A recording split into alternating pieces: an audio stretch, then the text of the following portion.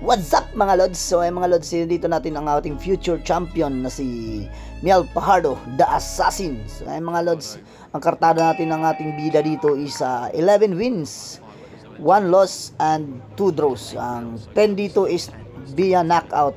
So isa lang yung hindi na knockout ni kalaban ni Miel Pajardo. Yung kalaban dito mga Lods is si unang kalaban dito is si Agustin Mauro Gauto.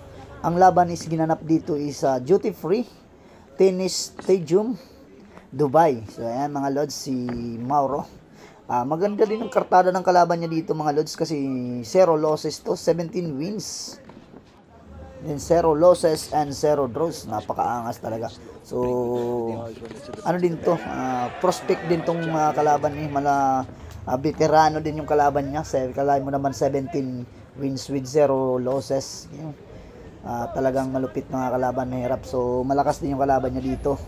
Pero sadyang malakas din ang ating uh, pambato dito. Kita niyo ng mga banat dito mga galawang pang world champion na pang world champion talaga. So kabang-abang yung mga laban nito ni Idol Mel Pardo no mga lods uh, kita niyo naman talagang sinasasaktan ni yung Argentine Argentinian dito mga lods Si Mauro Gauto pala dito mga lods is Argentinian, ang ating pambatong Pinoy na si Miel Pajardo, ang bumabangga-bangga sa kanya. Binibirada-birada ng mga hook, hook body shot with combination, no? Mga lods. Kita nyo na mga lods. So, ang job yung mga kala kalaban, no? tamang kayang-kayang salagin ni Fajardo. Paboritong galaw dito ni Miel Pardo mga lods. The Assassin. No, mga hawk mga lods, pag tumama yan, tiklop ka talaga dyan. No, uppercut yun, no? hindi lang tumama. Ang mga lods. So, dito mga lods, so panoorin natin mga highlights to. Ang mga highlights natin dito mga lods is uh, four latest fight ni Miel Pardo ng ating future champion mga lods. Ito mga lods is 20 seconds remaining. Yun, uppercut by Mel Pardo. Ayun, na tinamaan ng uh, left hook, mga lods. Tulog. Yun, uh, bumangon pa mga lods. Uh, okay, binilangan na ng ano dito. Save by double to dito si Gauto mga lods sa first round. Kung may oras lang ng konti pa to, siguradong patay na siya dito. Ano, nung lasing na. Kaya mga lods, save by double doon si Gauto. Dito sa lamantalang sa second round mga lods. Talagang binira-bira-bira na ni Miel Pardo, bin, hindi na binibigyan ng pagkakataon mga lods. Talagang alam ni Miel Pardo na kayang-kaya na niya ang Argentinian dito mga lods, kaya nirarat-rat na niya, di na niya binibigyan ng pagkakataon. Pero gumaganti pa rin, no, mga lods, yung hook medyo malakas pa rin. Ayun mga lods, binibira-bira na. Puro hook na binibinitawan mga lods, ayun bagsak yata siguro to. Ayun, bagsak na si Gaw to mga lods bagsak na to bagsak. Ayun bumagsak na nga mga lods. Napahiga na lang siya sa sakit. Si Gauto dito mga lods. No? Napakayalangas ng ating dito Niel Pajardo the assassin the future world champion mga lods. Uh, lods go birahan mo na. Ano yun? Nalito na pati yung referee kung ano itatawag niya anong gagawin niya So ay mga lods, bibirahan na ni Mel Carlo, di na, di na binigyan ng awa, no, no mercy na mga lods, no mercy na to dito mga lods. Yung puro hook mga lods, kita niyo mga right, mga right, ah, mga left hook pala ni, left hook, left uppercut ni Miel Pardo ng mga binibitawan talagang solid na solid mga lods. Napapayakap na lang dito yung Argentinian mga lods. Dala ng uh, lakas na mga birada ni Miel Pardo mga lods. In the second round, Ayun, mukhang babagsak na mga lods. Ayun mga lods. Tone, puro sinasalo na lahat yon Bagsak na mga lods. Okay, mga lods, second knockdown in the second and the second round mga lods. Ayun, tinaw papalag pa to. Talagang wala na siyang kawala mga lods. Di na binibigyan ng pagkakataon ni Idol Neil Pajardo mga lods. Ang mga lods, last knockdown na to, stop na to. Pag ma-knockdown pa siya dito mga lods, ayun na lods, tinap na nga mga lods kasi hindi naka, ayun, nalasing na yung mga lods. Parang nakainom ng uh, isang uh, gin bilog mga lods. Nalasing yung Argentina dito mga lods. So panalo via knockout yung ating uh, pambato dito mga lods. Miel Pajardo for the win. So ayan mga lods. Uh, tungay naman natin ang uh, next fight dito ni Miel Pajardo.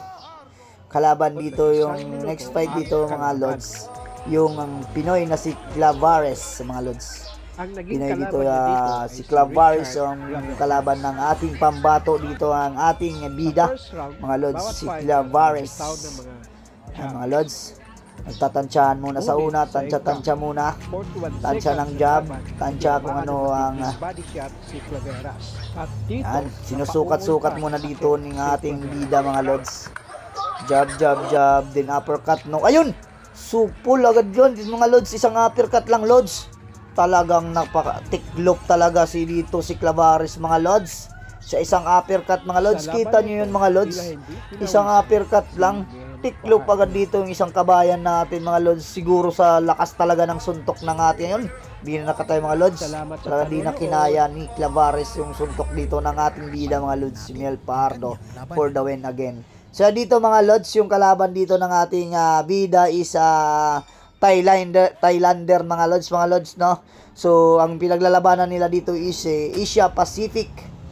Ah yan mga lods, isang hook lang din mga lods. Sabog agad yung mga panga agad mga lods, double job and then ah, fake okay. Hook ay yun mga lods. Bagsak dito yung Thailander mga lods sa isang hook ulit. Grabe yan. Kita nyo naman yung ating future world champion mga lods. Kayo kung sa tingin nyo mag future world champion ba to yung ating pambato na si Miel Pardo, comment below mga lods kung ano yung mga komento nyo dito mga lods. So wala pang 10 seconds mga lod, 8 seconds pa lang yun mga lods. Kita nyo yan oh. Yan, tinan mo yan, pagbagsak, double job, then hook. In 3 seconds, pang bagsak. So, bagsak siya mga lods dito. Yun, 3 seconds pa lang bagsak agad mga lods. So, bibilangan pa sana yan. Kaso, nakita ng referee na hindi na kaya. So, in-stop na, no? So, yun, hindi na nakabu nakabangon mga lods. Bali, yan po yung unang belt ng ating bida dito mga lods. Asian Federation flyweight po dito mga lods ang unang belt ng ating ah, pambatong kabayan na future world champion. Samantala dito mga lods yung last na laban dito ni Miel Pardo si Angas ng Cebu mga lods is ah, Asian ah, ay Oriental Asian Federation Boxing. Okay, siya pangalawang belt na lalabanan ng ating pambato dito mga lods. Okay, mga lods, tingnan natin sa round 1 mga palang. Ayun mga lods, round 1 pa lang kita niyo naman mga suntok mga lods. Ang mga binibitawang suntok ni Miel Pardo talagang uh, mangingisay ka talaga pag ah, tinamaan ka sa solid sa mukha, no? Kita niyo naman si Angas ng Cebu, tinanggalan ng Angas mga lods. Unang ah, sagupa pa lang.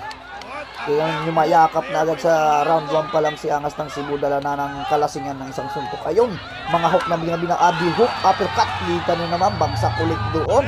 Si Angas ng Cebu, wala nang Angas si Cebu dito mga lods. Isang prospect din to mga lods si Angas ng Cebu. So, kinakailangan talaga maglaban-laban yung mga kapwa natin Pilipino para kung sino ang pinakamaangas mga lods. Ayun mga lods, tatlong knockdown na. So, stop na ng referee mga lods ah talagang di na match yung kalaban. Kitang-kita nyo naman na parang hindi na match yung naging nangyayaring laban mga lods. So ayun mga lods, ang latest fight yan ni uh, Miel Pajardo mga lods. So second belt sa Asian yan ni Idol uh, Miel Pajardo.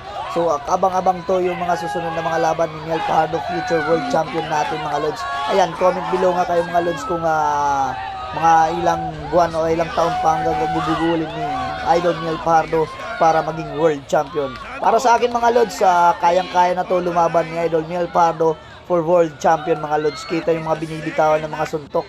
So may mga nagsasabi yung iba, mga hilaw pa daw yung mga suntok ni Miel Pardo pero kita nyo naman mga lods, hilaw pa daw para sa world champion. Pero para sa akin mga lods, kita nyo ng mga binibitawan mga suntok yung mga last four, latest four matches, uh, four for na laban ni Miel Pardo talagang pinahirapan niya talaga yung mga kalaban niya mga lods hindi niya pinapatagal yung laban. Talagang nina-knock out niya dito mga lods.